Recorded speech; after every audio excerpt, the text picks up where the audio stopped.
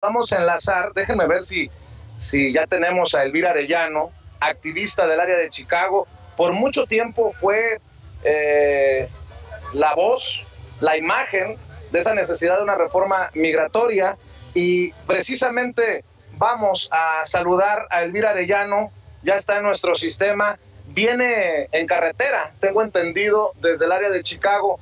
Querida Elvira Arellano, te saludamos. Toño Ruiz, un servidor Vicente Serrano. ¿Cómo te va? ¿Dónde vienen?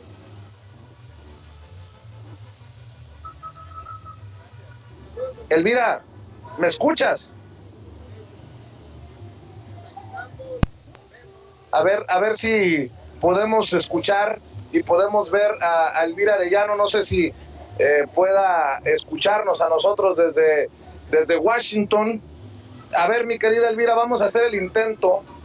Eh, mientras eh, don David hace circo, maroma y tanto, hay que reconocerle a don David, que, es en estos momentos One Man Band, el, hombre de la orquesta, el hombre orquesta, mi querido Toño, y, estos son enlaces que vamos a estar haciendo durante la transmisión especial, porque muchos migrantes todavía ni siquiera llegan a, Washington. Vienen está llegando más gente en estos momentos. Ahora que, ustedes ven la, toma, está llegando más gente y cada vez más gente a apoyar precisamente la reforma migratoria eh, es, es, fantástico que podamos hacer, eh, bueno, pues esta transmisión. Yo, eh, hoy la gente, muchos mexicanos se reúnen aquí para saludar, para apoyar al presidente López Obrador. Pero imagínense, e, ese es el pretexto que necesitamos para, para seguir luchando acá con mucha fuerza, Vicente. Así es, y, bien dice Toño, ¿ve? se vino, se vino un grupo importante, mi querida Alina, aunque no creo que sean parte de estas manifestaciones de solidaridad por la reforma migratoria.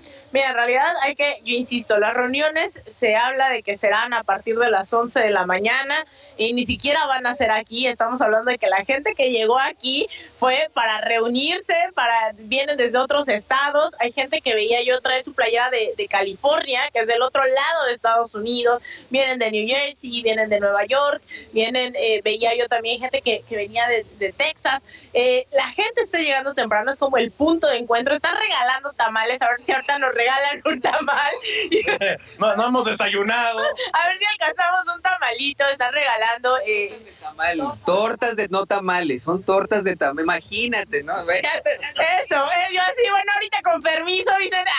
no, es eso, la gente está llegando aquí, de verdad, a iniciar su día, a iniciar la jornada, pero esto va para largo. El año pasado también, que estuvo aquí en Washington, dice el presidente, fueron llegando los contingentes a lo largo del día y también eh, hay que decirlo, es gente que está haciendo una, un esfuerzo inmenso que además se movilizaron a Nueva York hace unos días, que están viniendo. También hay que entender que las condiciones laborales de las que estamos hablando, las condiciones de nuestros connacionales aquí, no permite que estemos viajando de un estado a otro nada más porque sí. Es gente que de verdad o está perdiendo su sueldo del día, que está invirtiendo, ¿no? Porque quiere estar aquí y porque es un momento histórico. Después de 35 años se está debatiendo una, una reforma, eh, una reforma migratoria que se nos ha quedado a deber y que además viene bastante, bastante deslactosada, decafeinada la propuesta que están haciendo ahora, en vez de este camino a la residencia y a la ciudadanía, están proponiendo un, un parol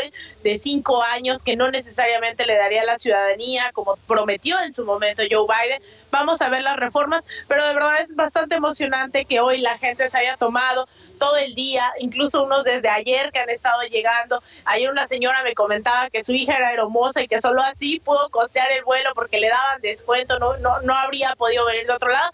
Pero vamos a ver cómo van llegando los contingentes a lo largo del día, Así es, veo que el contingente al que nos referíamos es de estudiantes de alguna parte de Estados Unidos vienen y, y con sorpresa, hay que decirlo, ven esta, esta manifestación al frente de la Casa Blanca. Mira, Vicente, desafortunadamente entre ellos veo a muchos que portan de esas gorras eh, que apoyan al presidente Trump, hay que decirlo con mucho respeto, pero que, eh, que, que, que, que están detrás, si me lo permite decir, de una pues de una idea, de una ideología racista, esas gorras de Make America Great Again. Y es, es triste ver que sean jóvenes, jóvenes eh, pues estadounidenses, eh, pensando todavía con ese tipo de ideología, son en contra de los mexicanos. Y fíjate que iba a mostrarlos, pero decisión ejecutiva del director de este espacio para no darle eh, precisamente cabida a las visiones discriminatorias, eh, racistas que representa Donald Trump, pues que chinga a su madre Trump, perdón.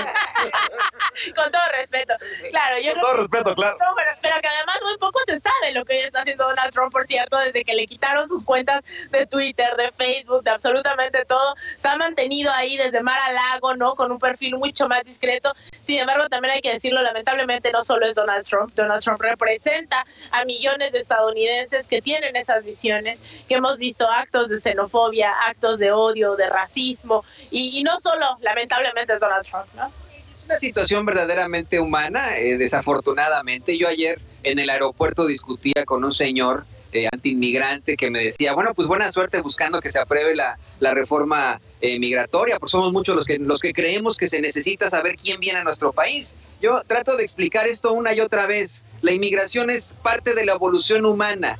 Si, si no existiera la inmigración, todos los humanos seguiríamos viviendo en África. Punto Pero, pero, pero además, Toño, perdón que meta mi cuchara. Qué pendejada. Si precisamente la reforma migratoria es para documentar a la gente y para que sepas quiénes son. Que no mames, perdón. Pero en, en estricto sentido, y lo que debería de saber, lo que deberían de saber todos en esto es que es- nos hacemos bolas en los países al intentar implementar leyes sobre migración, porque la migración va a ocurrir.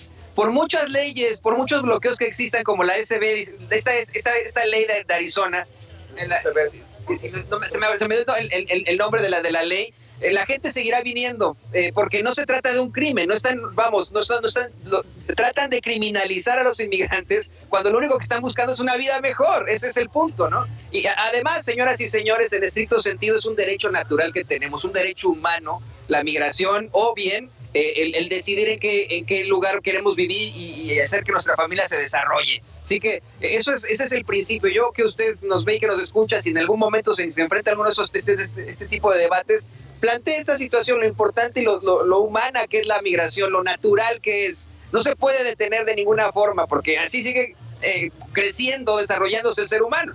Y quiero decir, eh, insistir en que nosotros, con mucho respeto para otros medios, para otros colegas, para otros comunicadores, para otros opinadores, para otros comentócratas, nosotros opinamos de esto porque sí conocemos a la comunidad migrante. Porque somos Porque inmigrantes. somos migrantes, porque, porque hemos, en el caso de Alina, vivido años aquí en la capital, porque su servidor se aventó veintitantos años entre California, eh, Arizona, eh, Illinois, porque Toño es migrante, porque vive en Estados Unidos, porque vivimos este dolor, porque lo sufrimos, porque tenemos amigos, porque tenemos familia que no tiene papeles, cuyo único delito es soñar con una vida mejor.